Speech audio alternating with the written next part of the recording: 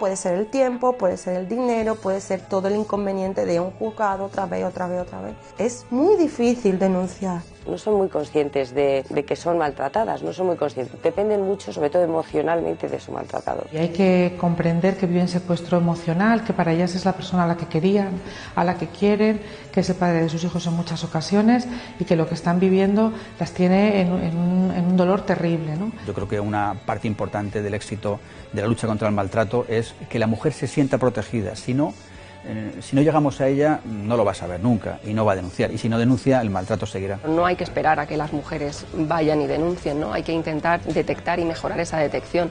Por ejemplo, en los centros de salud, en los colegios. No se denuncia lo suficiente. Y sin embargo, aún hay quien insiste con la falacia de las denuncias falsas. Y en seis años que llevo en este juzgado de violencia de género, igual le he deducido tres veces testimonio por denuncia falsa o cuatro. La Fiscalía General del Estado examinó más de 657.000 denuncias por malos tratos y concluyó que de todas ellas podrían ser falsas 71, el 0,01 del total.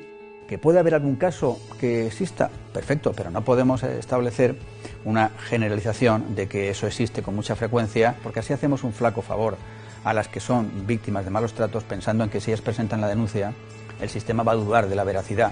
No se está cuestionando el Código Penal porque haya quien denuncie falsamente miles de cosas.